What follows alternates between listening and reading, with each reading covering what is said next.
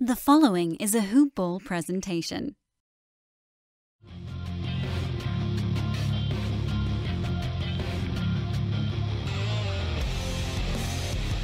Welcome to the Fantasy NBA Today podcast.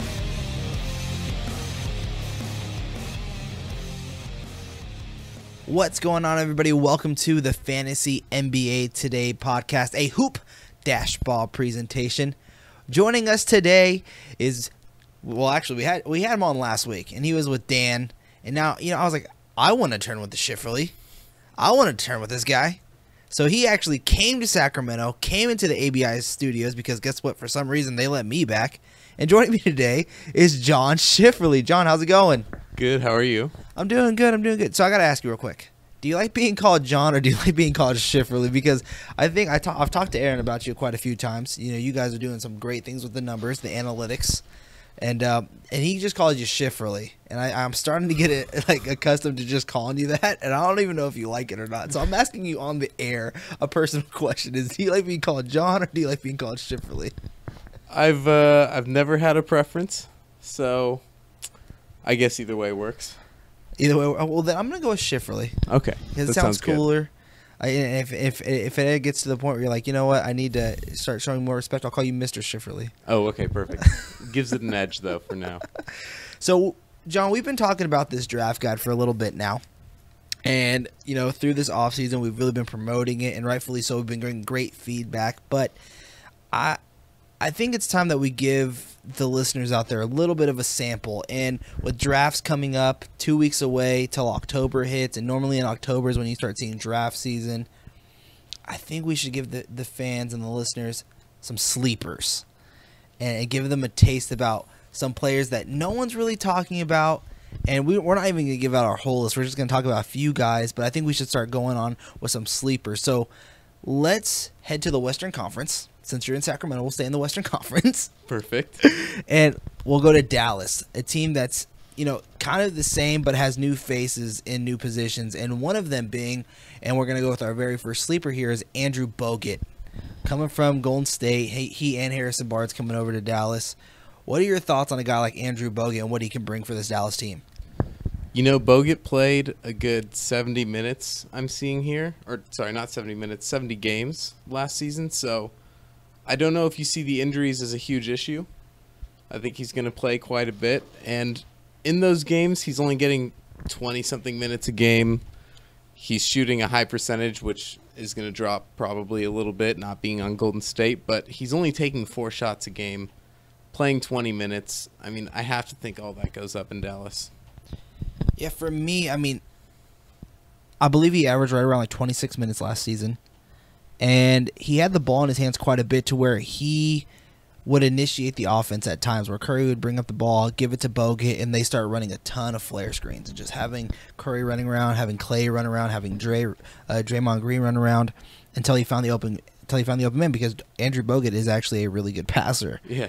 And so I think what you're going to see in Dallas is he's not going to be used in the low post. I think they're going to put him at the mid block and start having Dirk in his favorite spot, which is in that low post so he can do the the famous Dirk one foot fade away, which is nice. But at the same time, I think it's going to open up doors for a guy like Harrison Barnes, who I think is better when he's cutting to the basket and sloshing to the basket. And then Deron Williams to start roaming around a little bit more and not have so much attention on him with the ball in his hands. And I think it's actually going to help him stay a little bit healthier. And if you consider that a sleeper for that fact, I guess you can. But I do think that a lot of people are worried about the injuries, like you said. But the fact that he played 70 games, he only missed 12 games last season, has to be a bright spot. And he's also one of those guys that not only gets a good field goal percentage, he also gets you blocks. He also gets yeah. you rebounds and those assists from the big man position. So yes, he could hurt you with the free throws and, and not necessarily help you too much in the points but he also doesn't turn the ball over that much either. So I think those are huge benefits to a guy like Bogut. Yeah, and you have to think switching from a point guard like Steph Curry to Deron Williams, who's good in his own right, but definitely not going to handle the ball as much as Steph. They don't really have the playmakers that Golden State had with Draymond Green, Steph Curry.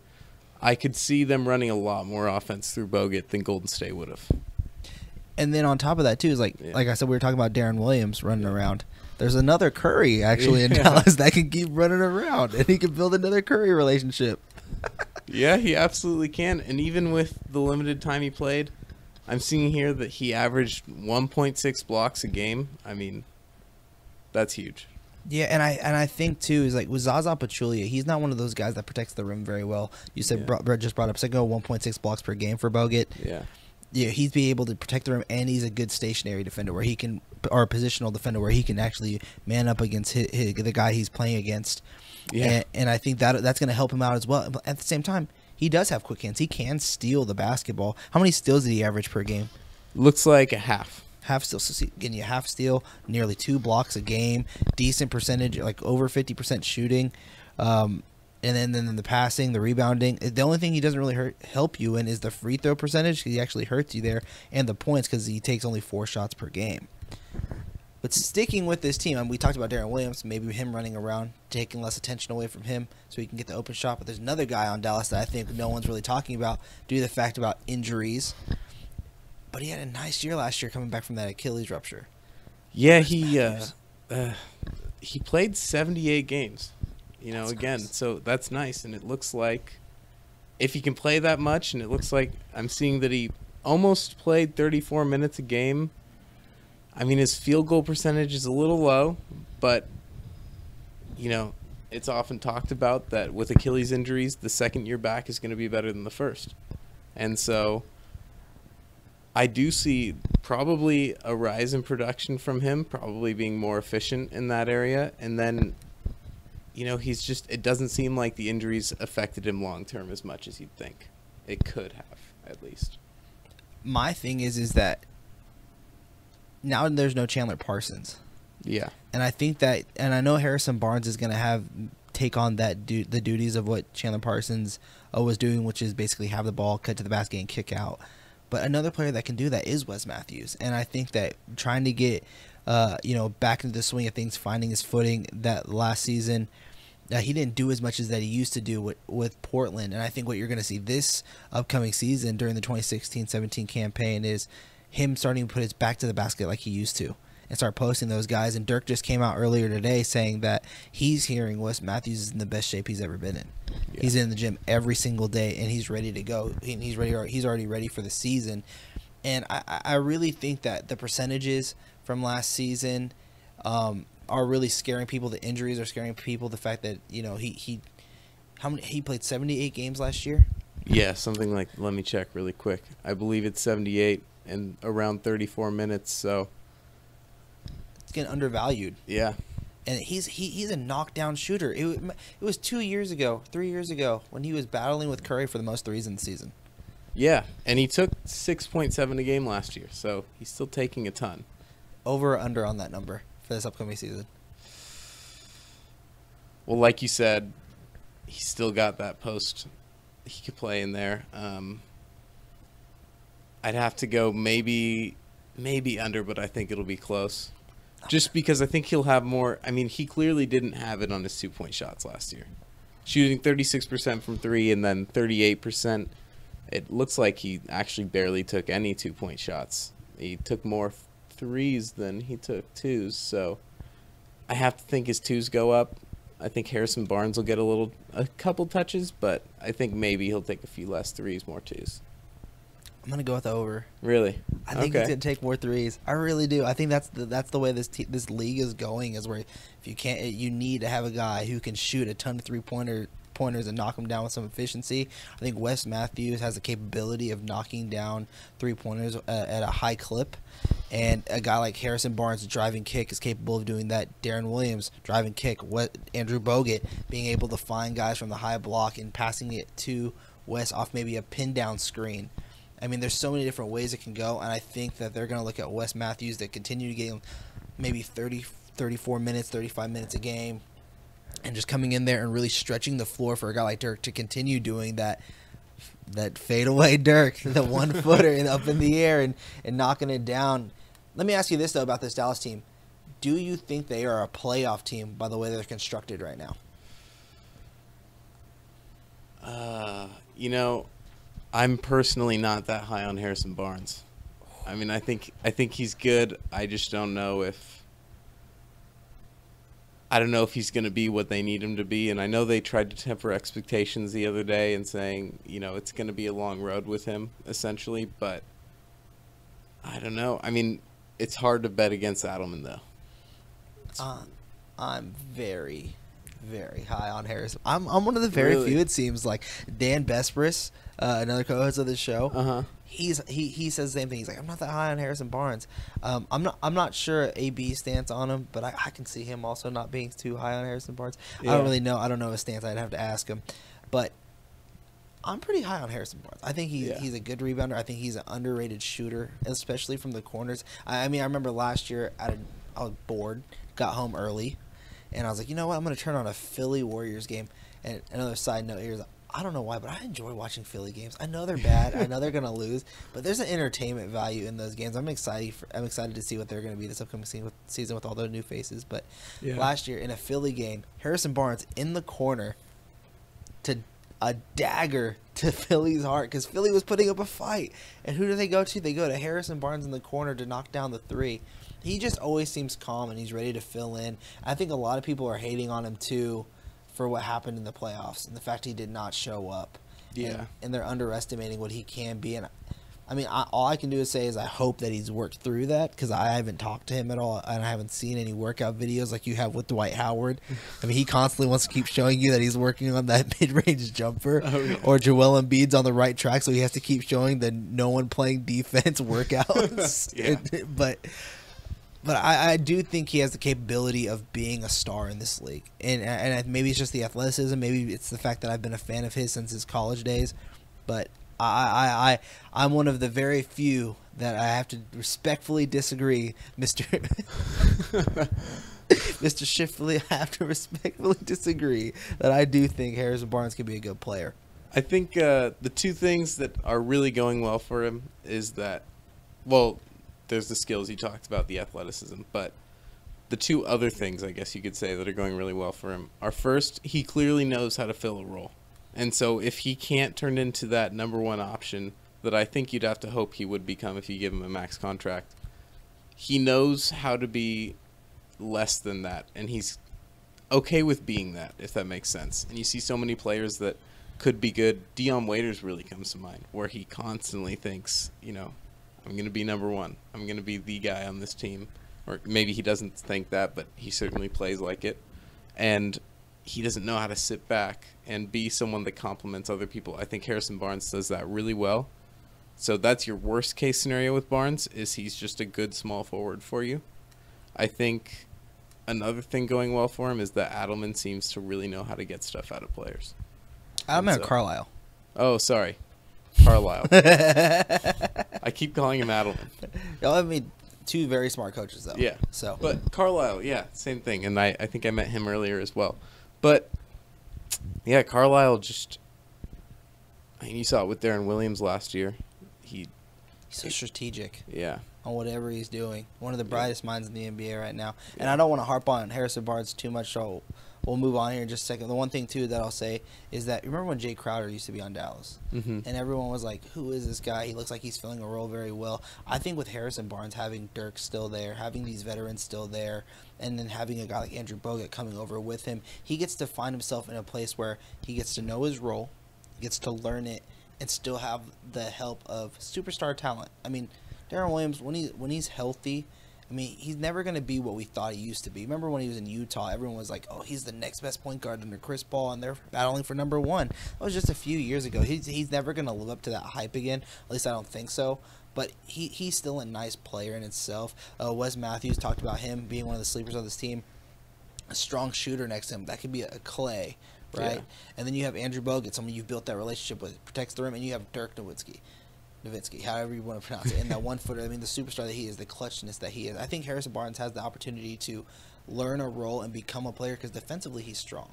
Offensively, you know what he can do when uh, he's given the chances, and so I, that's why I'm going to say I'm, I'm still pretty high on a guy like Harrison Barnes. Yeah.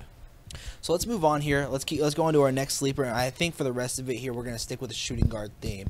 And we were talking about Wes Matthews and about the injuries and about how the percentages were up and down. We go to San Antonio and there's a shooting guard in Danny Green who had a very down year after getting paid over the offseason. Do you think he has a bounce back year? I definitely do. I just don't see any way that he shoots 33% from three, at least.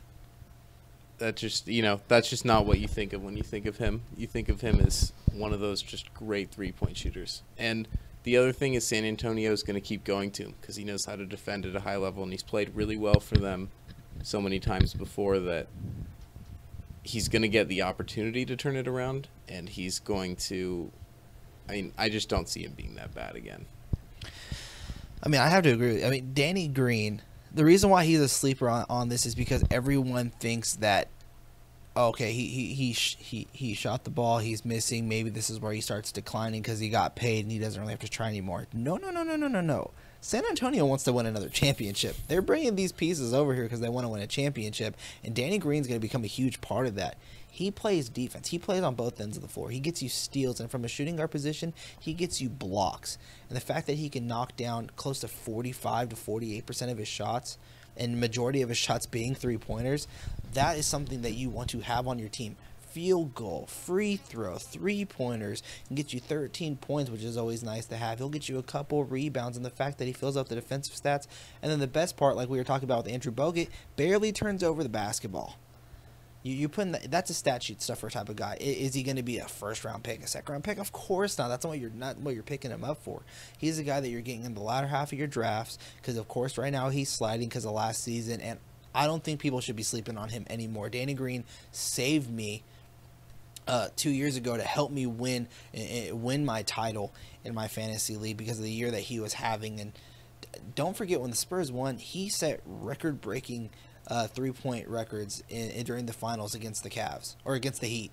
So I, I am going to continue staying high uh, on Danny Green, but you know I, I want to bring this up too with Danny Green do you think that he's going to have as much opportunities as he used to now that Pau Gasol is there, who still showed that he can be an offensive weapon? You have Lamarcus Aldridge, you have Kawhi Leonard, and you still have Tony Parker. I mean, how many shots do you still think he gets? Because maybe that's what people are nervous about is that how many shots is he going to be able to have with so much offensive talent still around him? You know, I think Tony Parker's role is about to go down a little bit. Not way down, but he's sort of getting to that age where he may start to take a smaller role and turn that over to people like Kawhi Leonard, uh, Lamarcus Aldridge. I mean, to an extent, Pau Gasol, just because you're going to get a guy that needs touches, and Danny Green. He was only, I mean, I think he was 29 last season, and yeah, he was 29, so he's not that old, and it's just tough to think that he isn't going to be a part of their future going forward. If they're going to win more titles based around Kawhi Leonard and Lamarcus Aldridge, Danny Green's going to have to give them something. So they know that, and they know that they're going to need to give him an opportunity to get better. And, you know, like you said, a lot of people may think, oh, he got paid. He's just, now he's just content. Spurs don't tend to bring people in like that, you know? And to some degree, we can't know him and we can't know how he is but you have to trust an organization that's brought in players like that. I mean, as long as I've been alive, and just know that this guy's no exception. You know, he wouldn't be there. Especially the way Pop makes sure that his players, you know, set an example, especially their veterans. Like, and then that's the one thing you gotta love about Pop is that he'll yell at a guy like Tim Duncan, who I and I, I we got to give a moment too. I mean, if I never thought I'd see the day, but I knew it was coming at some point. That when we look at the Sac or at the Sacramento Kings, at the San Antonio uh, Spurs uh, roster, and you won't see number twenty one of Tim Duncan on there, that's so disheartening. I mean, I mean, he had such a great career, a first round, first ballot Hall of Famer for sure. Man, that's crazy. But like I was saying, Popovich will yell at you if you're not trying. He will take you off the floor. And I think a guy who was hungry for minutes and showed it in Rio to take over possible minutes for Pat, uh, Tony Parker is Patty Mills. Yeah. Patty Mills is a shooter and he plays aggressive both both sides of the floor as well. And it I, I want to see what he can be. I don't. I'm not going to put him on this sleepers list just because I don't think he's going to get the minutes to even be a sleeper. Yeah. But if he ever gets that opportunity of let's say uh, getting right around 25 minutes, maybe he's a nice you know waiver wire pick. I will say this though, Tony Parker ever gets injured, DFS. We talked. You got Oh, you and yeah. Dan talked about it. He'll be thirty five hundred dollars minimum value. You snag him up and you put him on your on your team because he's gonna help you win some money. Yeah, and if it's a serious enough injury, even just full season fantasy, pick him up if you can. He's just high IQ guy. Yeah. and that's why you gotta love Patty Mills. So Danny Green was the next guy on our list. We move on down to our third and final, or third and final shooting guard, and our and our, and our final sleeper here, and it's Josh Richardson of the Miami Heat. And the reason why I want to bring him up is because he was on this list regardless of the injury, but now you factor in an injury, which looks like he'll be out six to eight weeks with his timetable excuse me, as I uh, had too much to drink and now I'm burping on the show. show. But you know, his timetable six to eight weeks, which means he's going to be missing a, a, a little bit of the, of the start of the season. He'll be he'll be out for the start of the season. Was that right around like 10, 15, 20 games tops? Yeah. Uh, What are your thoughts on a guy like Josh Richardson? Are you still looking at him at the latter half of your drafts, and, and that's why we have him on this list, or is this someone that you gotta, right when you start seeing that he's healthy, you want to stash him away? You know, he's just he's going to play a lot more next season, and that's a big part of all this. I mean, who did they lose on the wing? They lost Dwyane Wade, obviously, and then uh, Luol Deng.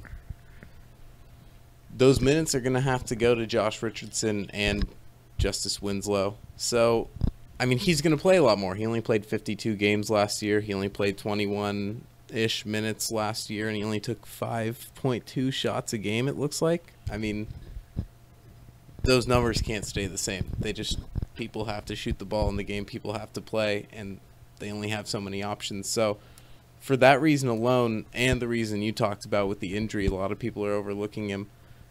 He's going to be good next year. He's going to have a lot of opportunity to show what he can do. So, I see him as a major sleeper. I, I'm gonna be honest. I'm, I'm I might still take him. I think a lot of people were already not drafting him, or at least waiting until the latter half of the draft. I think I could probably get him in the final round of the draft. Yeah. A- and being completely okay with it, knowing that you know what he's gonna miss. You know maybe the first three weeks of the of the regular season. But then I have him for the remainder. He plays defense. He shoots threes. He has nice field goal percentage. He gets you steals and blocks from the shooting guard spot. We basically been talking about the same exact player with Wes Matthews, Danny Green, and now Josh Richardson. I mean, you're getting those type of players, and if you can get that type of player, say maybe a top 75 player in Josh Richardson, Yeah. and you're getting him at the latter half of your draft, the final round possibly, why not take that risk? Why not get that sleeper? Yeah, and I I I don't think it's unrealistic at all to see him at the end of the draft and he uh he was at half a block a game like you mentioned. He's really good at that from the shooting guard spot and that's only in 21 minutes. So I don't see any way he doesn't start first and second.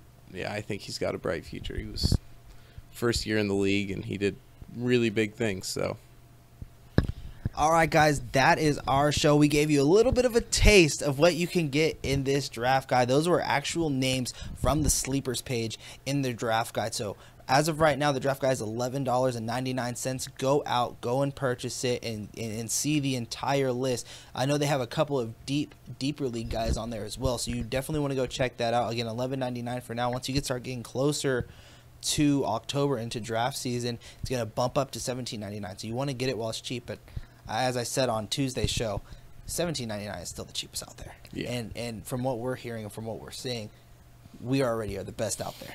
So you're getting the best at the cheapest price. We're we're, we're Walmart. yeah. We're taking over. We're almost a monopoly out here. And uh, I mean, you'll buy it later, so you might as well buy it now and save the money. You have time to look at it. You know, you don't want to wait. Definitely, Jon. Let the fans out there know where they can find you online, what you'll be doing for the site uh, moving forward in the season, and uh, and uh, you know, let them know what you're going to be doing this weekend. I'll be spending the weekend in uh, beautiful Sacramento. It's always nice to get away from Santa Barbara, and uh, you know, on the site, I'll just be generally covering fantasy stuff, covering some of the Kings when I can, and uh, just running the numbers as much as I can. So you can find me at Jon Schifferle on Twitter, and that's pretty much it. You guys can follow me on all social media platforms of at VM Center. Follow the site at Hoopball Tweets. Bookmark hoop-ball.com. Look at all the fantasy blurbs that are coming up. The Hoopball blog side, there's there's been articles going up at least once a week. Um, subscribe to the show. iTunes. It's under the Cos and Brews channel for now, uh, but that hopefully will soon change um, sooner rather than later. But go subscribe there. Leave us a rating. Check out the Hoop Balls YouTube channel. We have a new show unveiling on Saturday with Aaron Brewski and myself. It's a Google Hangouts. It's a live show. You guys can start submitting in your questions. Hashtag Fantasy NBA Pod. And uh, until next week, guys, farewell.